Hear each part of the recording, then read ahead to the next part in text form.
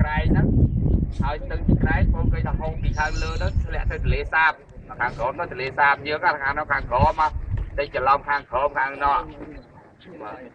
បាទចិត្តប្រជុំមកយើងចិត្តប្រជុំមកហើយយើងគេថាជាងខាងនោះបងមើលជាងទុកដីដែលគេធ្វើមិនមែនគេក្រាលជាងទេដូចយើងគេគេជាងទុកដីដោយសារយកយកថ្មបាយក្រៀមគឺជាងទុកដីអញ្ចឹងបងគេថាបាក់មកកណាត់ទៅយើងឃើញខាងលើនោះគេមានថ្ម នេះខាងលើទៀតក្រាលពីលើហ្នឹងអញ្ចឹងយើងរាប់សសរស្ពានរាប់អីទៅវិញសួររឿងសសរស្ពានបើមានសសរស្ពានប្រមាណប្រឡោះប្រមាណរាប់ប្រឡោះក៏អត់ត្រូវសសរក៏អត់ត្រូវដែររាល់ដង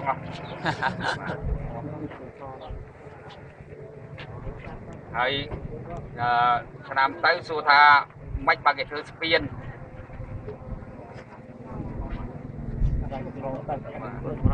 មួយឆ្លងទឹកវាអត់ខ្នល់ឆ្លងកើតដែរលងងលងងតាមផ្លូវ highway បើគេធ្វើស្ពាន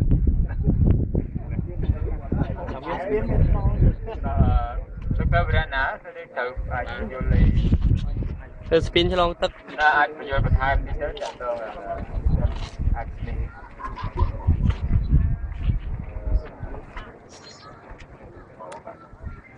អឺបន្សំមិញយើងបានស្ដាប់ខ្លះដែលទាក់ទង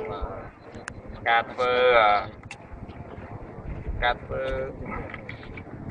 អឺគ្រឿងគុំប្រាសាទដែលយើងប្រើប្រព័ន្ធហាក់នេះឥឡូវយើងមកដល់កន្លែងស្ពានជាស្ពានបុរាណមួយ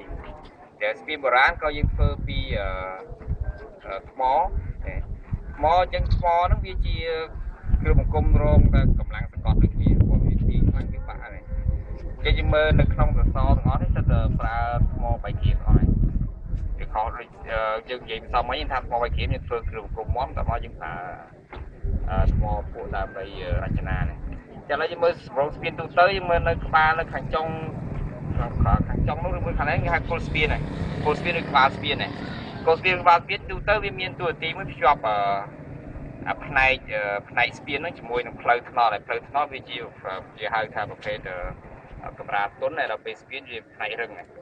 ចឹងនៅពេលនៅពេលភ្ជាប់ហ្នឹងគឺត្រូវលេងមិនឲ្យវាថ្នល់បានល្អហើយនៅចំនួនពីនៅចំនួនដើមឡើយគេអត់បានគិតដល់ចំណុចហ្នឹងឯងមានថានៅខាងមុខស្ពានគេច្រើនមានអាកន្លុកហើយយើងអានេះចំនួនចាស់នៅឡើយយើងអត់ប្រើភាគ approach slab ឯងអញ្ចឹងយើងគ្រាន់ធ្វើអាច្រាំងទុកនេះដើម្បីកុំឲ្យដីបាក់ព្រោះអត់មានច្រាំងនេះទេដីដែលយើងនេះមកវាត្រូវវាចូលនៅក្នុងស្ពានហ្នឹងអញ្ចឹងនៅ គេត្រូវធ្វើអាចាំងទុកដីដែលចាំងទុកដីពីមុននៅតែជាថ្មបាយជាដដែលហ្នឹងបើលេងចូលដល់គ្រឿងបង្គំខាងក្នុងណាខាងក្នុងវាមានយើងធ្វើស្ពានសំខាន់យើងឆ្លងបានហើយទឹកហូរបានហ្នឹងហើយអញ្ចឹងបើសិនជាយើងរកវិធីទឹកហូរបានវាយើងធ្វើទៅទុកបានហ្មងអានោះវាអាចស្ទះទឹកហើយអញ្ចឹងគឺត្រូវលេងមិនដើម្បីឲ្យមានប្រហោងផ្លូវទឹកអាចតែឆ្លងបាន ណាចឹងគេធ្វើឲ្យវាមាន set តែប៉ុន្តែដោយសារចំនួនហ្នឹងយើងអត់ទាន់មានវិធីអីធ្វើឲ្យជាធ្នឹមធំធំបានដោយសារយើងប្រើតែអឺថ្មដែលវាអាចរងបាននៅក្នុងសកលណាចឹងយើងលេងមិនឲ្យវាទៅជាអាក់ហ្នឹងចឹងវាអាចមានទួយទួយវាភ័យអាក់នេះទួយជាងអាខ្លោងទ្វារយើងចូលនៅក្នុងប្រាសាទទេហើយប្រាសាទដោយសារយើងអត់មានតំបន់អីពីលើមានតែថ្មណាដល់នេះមានតំបន់ពីលើខ្លាំងទៅចឹងយើងធ្វើការហ្នឹងគឺឃើញបែរនេះទួយទួយទៀតណា ប៉ុន្តែនៅតែប្រើគាត់អាក់ដែរយើងឃើញសសមកយើងគឺនិយាយចេញមកទីទៀតនិយាយចេញមកដល់ពេលដល់ខាងលើបាទយើងនិយាយ3 3អត់នេះដែរ3ថ្មនេះមកយើងចាក់ដីពីលើចឹងពេលស្កត់ដីមកវាកម្លាំងវាញែកចូលតាមសសតែស្ពាននេះយើងក៏មិនមែនតអត់មិនមែនតថ្មបាយក្រៀមសោះទេព្រោះចំនួនបារាំងហើយឆ្នាំ1930ហ្នឹងគាត់បានចូលចឹងអាក្នុងក៏បានសបតុងហើយអា នេះគាត់ពីក្រៅហើយគាត់ឲ្យទឹកគាត់ក្នុងដើមហ្នឹងតែក្នុងថាគាត់មានមានពីណីបើពីដើមហ្នឹងគឺវាដូចយើងយើងកំនិយាយគឺជាសយើងចាក់សាច់ចូលទៅតែយើងវាសាច់យើងវាថ្មវាជាមកដាក់សាច់ចូលហ្នឹងបាទអញ្ចឹងជាអស់ណាយើងគេអាចមានសំណួរអីបាទ នេះចំនួនបារាំងដូចជា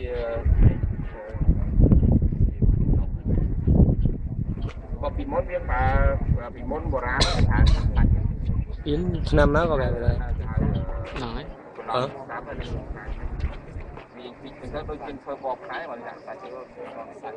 សបសាច់ហើយយើងនិយាយនិយាយមិនក៏មិនឆ្នាំណាច្រើនខែទៅណា ដល់ស្ពានហ្នឹងក៏ដល់នេះជាប្រភេទអឺគេហៅអឺក្បាលស្ពានមួយដែលស្របជាមួយនឹងអឺផ្លូវទឹកហ្នឹងយើងអាចធ្វើអាក្បាលអាអាយ៉ាងទុំនេះអាចធ្វើស្រោមមកចេះក៏បានធ្វើប្រឆិតធ្វើប្រងយើងមួយធ្វើប្រឆិតមកយើងក៏បានគ្នាយើងអឺស្រាប់គេតមេសម័យថ្មីណាបាទកែទម្រួលឡើងវិញទៀតប្រហែលជាគេរក្សាប៉ុណ្្នឹងឯងព្រោះអត់មានយើងអាចធ្វើចរាចរណ៍ធុនស្រាលបានដែរ សម្រាប់អឺយ៉ាងណាជាគ្រួសារអញ្ចឹងយើងមានស្ពានថ្មីនៅក្នុងហ្នឹងអញ្ចឹងហើយប៉ុន្តែជំនាន់មុនជំនាន់រដ្ឋកម្ពុជានៅប្រើតែឡានដឹកឈើដឹកអីធំធំៗខ្លះតាមកាត់ដែរអញ្ចឹងហើយដោយសារយើងបើពេលពេលពេលដែលយើងចាប់ផ្ដើមគឺថាបេតិកភណ្ឌជាតិមានតម្លៃអញ្ចឹងហើយយើងចាប់ផ្ដើមថែរក្សាធ្វើអភិរក្សអញ្ចឹងស្ពានទាំងអស់ហ្នឹងយើងឃើញនៅក្នុងនោះគឺថាស្ពានទាំងអស់មាន22នៅផ្លូវហ្នឹងហើយអញ្ចឹងវានៅសល់ដែលមានរូបរាងតែ11ឯងអញ្ចឹងគេរក្សាទាំងអស់ហើយ អាស្ពានយើងតាជិះមកតាមផ្លូវក៏ឃើញមានទូចទូចដែរហើយមានស្ពាននៅកន្លែងផ្សេងទៀតប៉ុន្តែនៅមិនមែននៅក្នុងផ្លូវជាតិហ្នឹងនៅផ្លូវផ្សេងផ្សេងដូចនៅក្នុងក្រុងអង្គរមកក៏មានស្ពានមួយនៅស្ពានបុរាណនេះដែរហើយធ្វើរបៀបដូចគ្នាហ្នឹងរបៀបមកតស្ពានស្ពានហ្នឹងធ្វើនៅឆ្នាំណាលោកគ្រូស្ពាននេះបាទគឺចូលនៅឆ្នាំ1930ពេញ ស្ពានមួយវាធ្វើមកអាហ្នឹងថាធ្វើម្ដងថាសតសតវត្សទី12ក្នុង12 13ចន្លោះហ្នឹងខ្ញុំចេះរួមប្រហែលទី7ហ្នឹងណាគឺវាកត់ត្រូវបានហើយបាក់ទៀតណា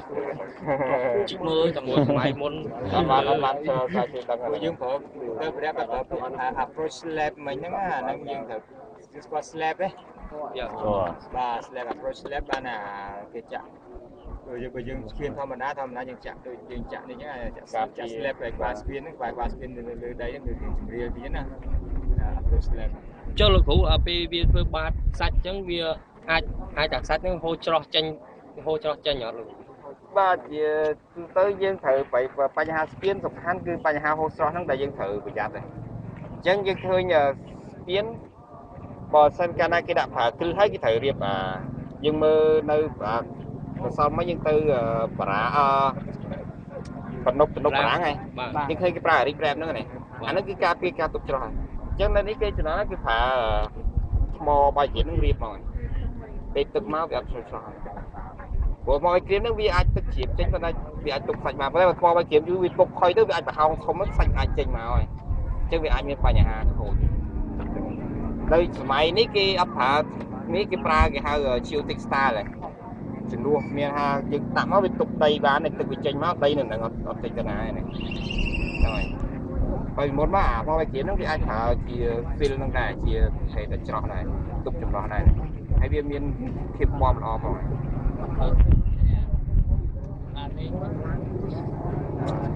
មានជាសំណួរទៀត ទេយើងកើបានមានជាសំណួរអីខ្លះយើងកើអាចអាចសើចមើលបន្ថែមទៅបាទបាទហើយអឺចុងក្រោយយើងនៅយើងសល់មួយកន្លែងទៀតត្រូវយើងទៅ visit ទេណាបាទអញ្ចឹងឥឡូវយើងមុននឹងចេញដំណើរយើងអាចមានពេលយើងគិតថាថាទុកឲ្យពេលយើង20នាទីទៅអញ្ចឹងយើងអាចដើរថតរូបថតអីដើម្បីដាក់ចូលក្នុង report របស់យើងបានណា